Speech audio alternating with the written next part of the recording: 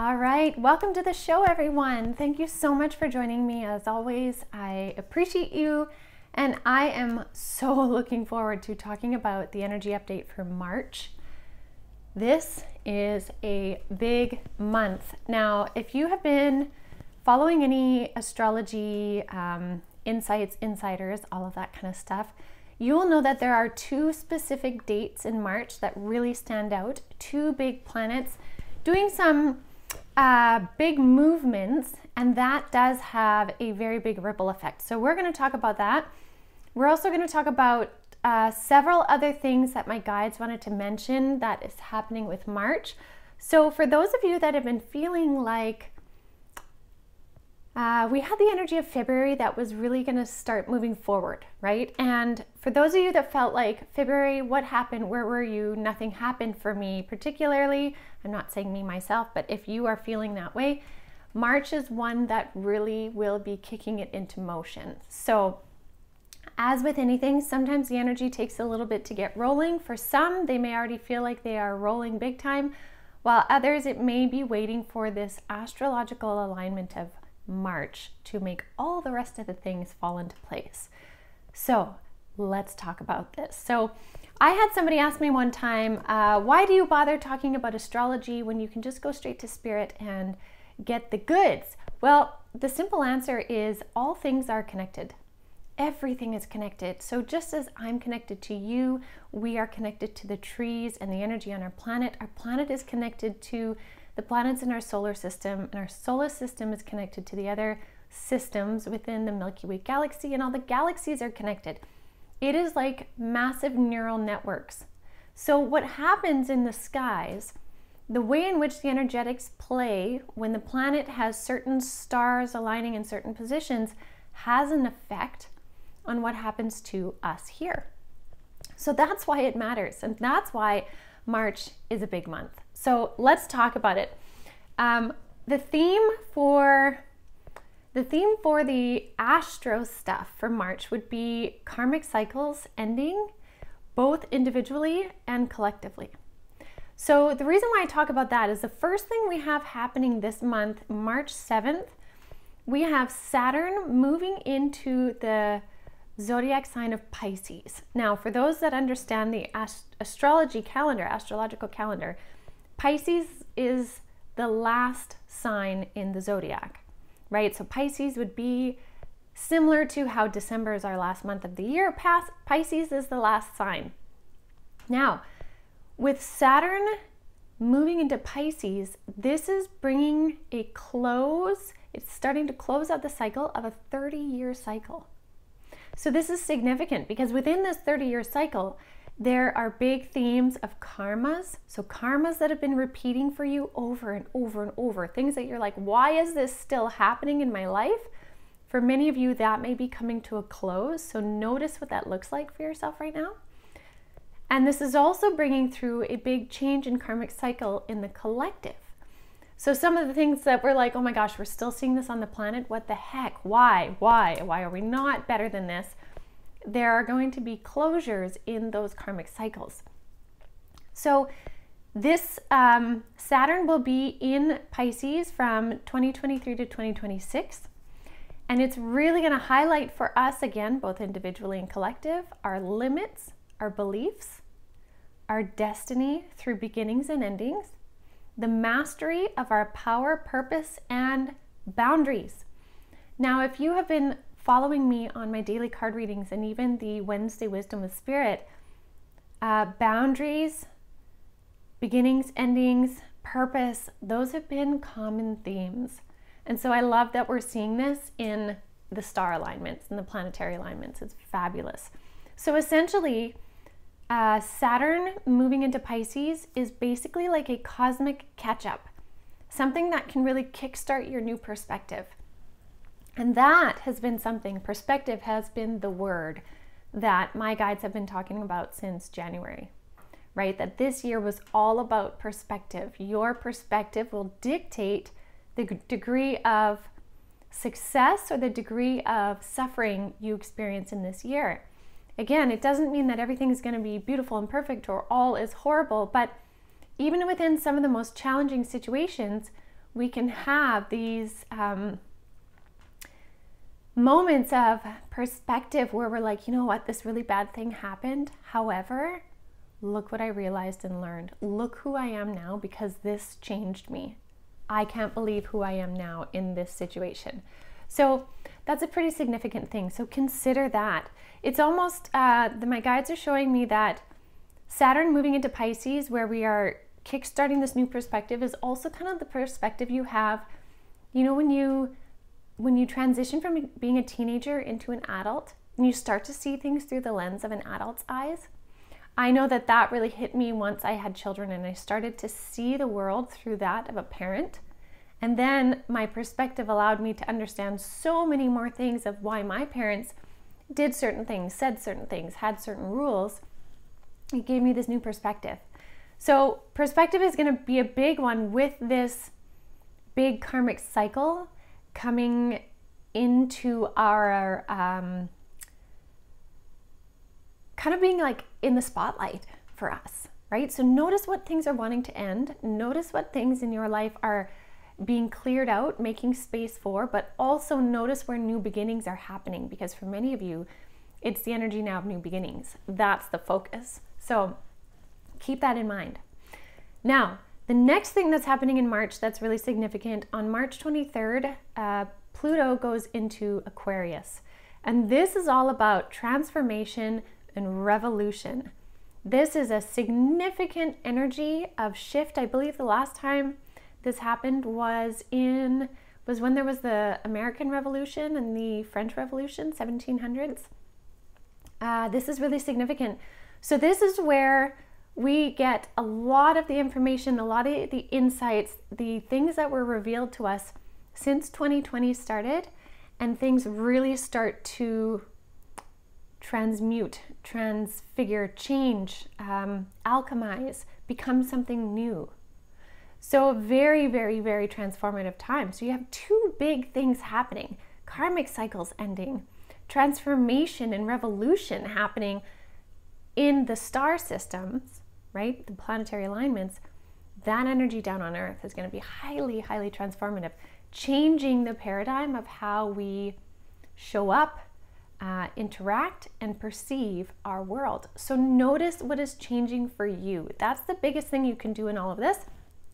Notice what is changing.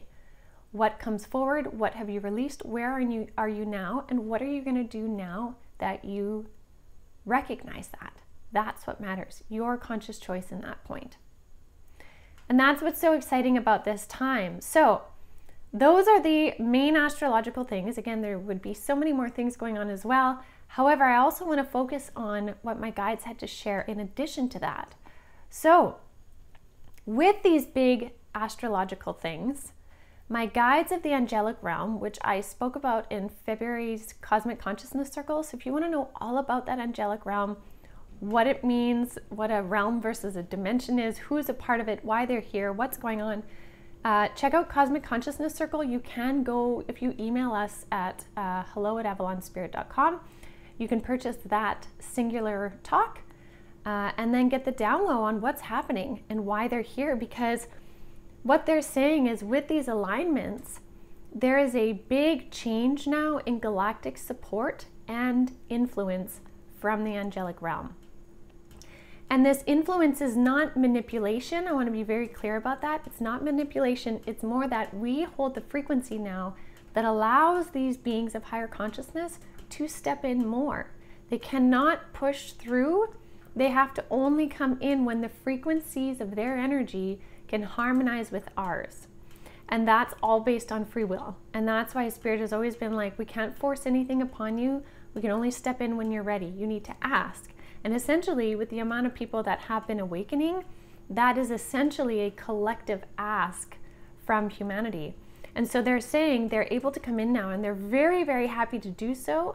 We have been having a lot of uh, ET observation. The spirit world has been observing our planet too for a while.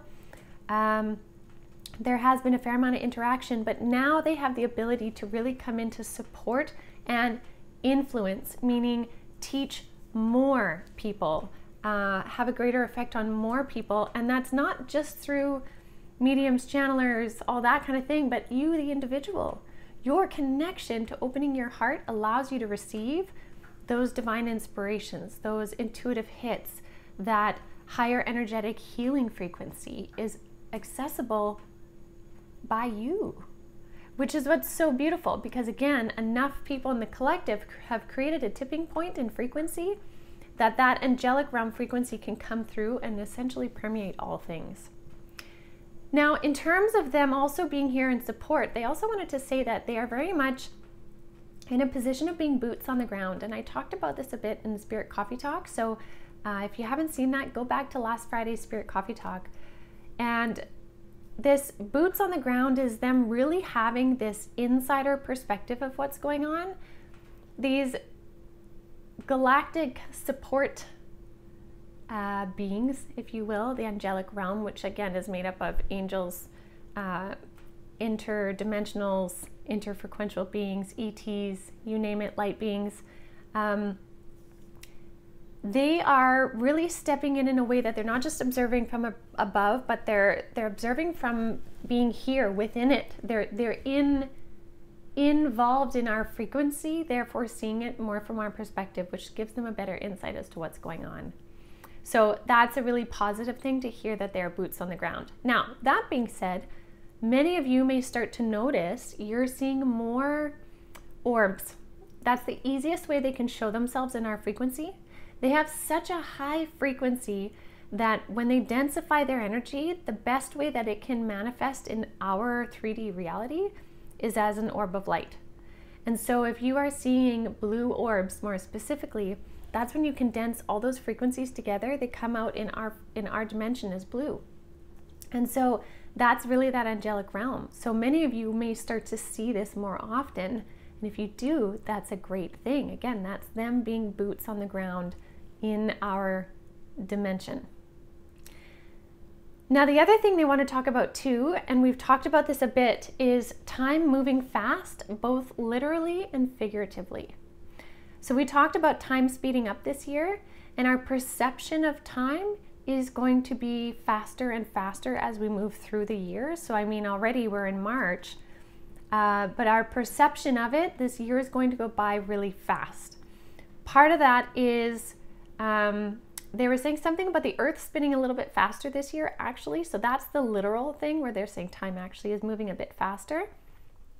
But um, the other way is that our perception of it, so much is changing in this year that when you think of all that's happened, it will feel like it went by extra fast.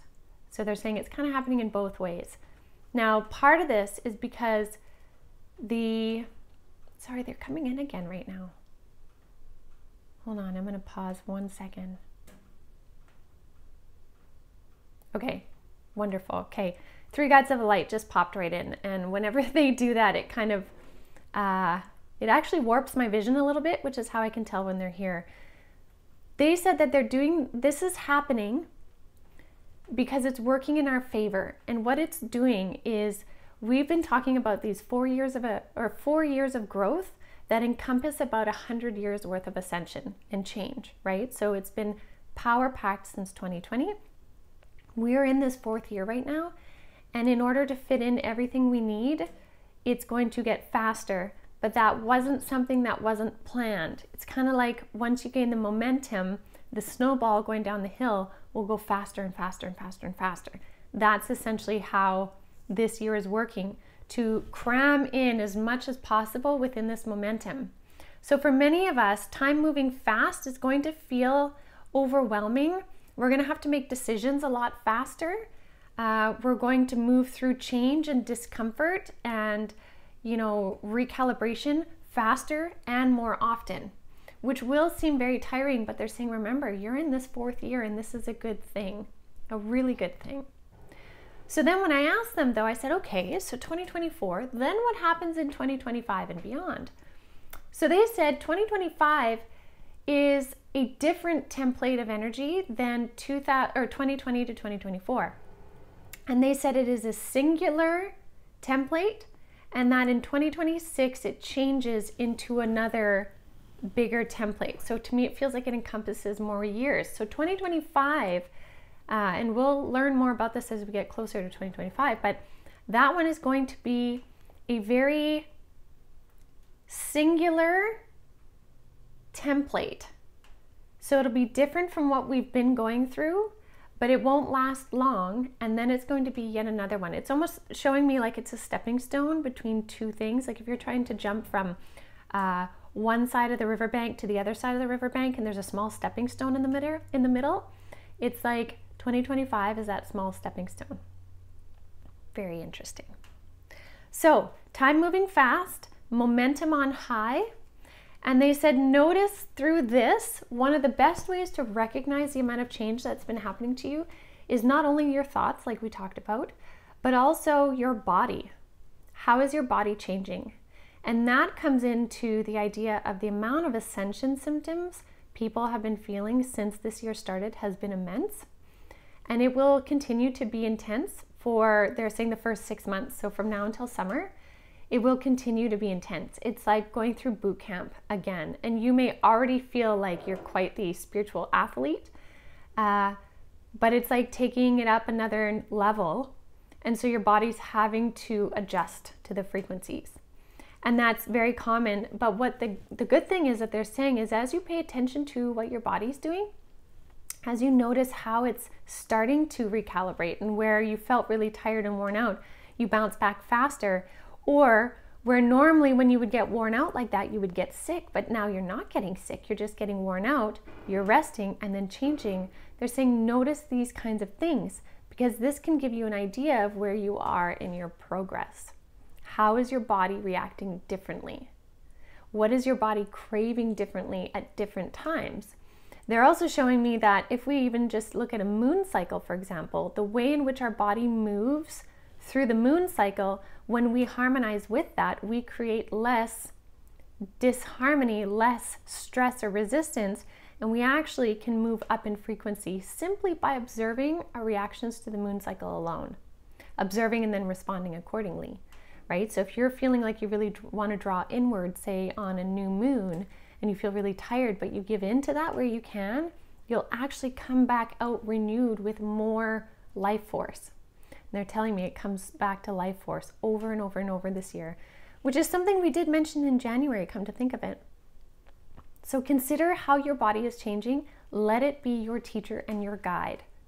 The body is such an amazing, integral uh, energy, but I almost want to say like an entity of your existence. And the reason why I say that is if we look at the mind, body, spirit trinity, right? Picture that triangle, and you've got mind on the bottom. Say the top is spirit, and the other bottom is uh, body, right? We give our mind credit, realizing how much power it has in its thoughts, right? So you could almost see that like a separate entity. We give our spirit credit in its all knowing nature, its divine plan, its knowing of something so much more, and we give it credit almost like its own entity. But we don't always give the body credit as its own entity. But what we have to realize is the body was created as a living life force vehicle. It's not an inanimate object, it's not a car.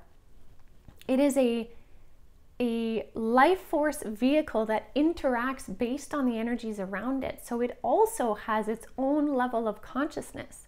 And when you think about it, consider the um, the way in which the body will fight to heal itself from injury. Even when all odds are against it, the body has an amazing ability to heal.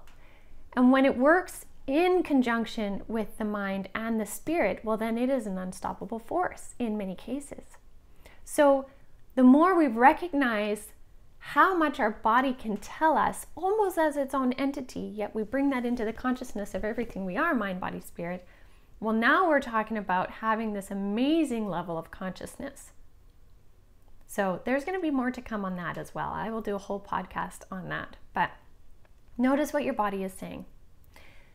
Now, the other thing they wanted to say too is um, for many of you in your meditations the next while, you may notice you are being taken on a journey through fractals. So, if you guys are familiar with fractals, that's where um, you can shrink something down to the smallest degree, but continue to see it grow and grow and grow, right? If and the best way to to understand fractals is to actually Google it. Google it or, or YouTube it and see a video, and you'll see how, as you keep journeying, it keeps dividing into smaller and smaller parts, but it never stops. And Spirit wanted to say that many are going to start seeing reality through fractals. And the point of that is to show how all things are connected, whether they are immensely huge like the cosmos or tiny like the atomic nature in our bodies.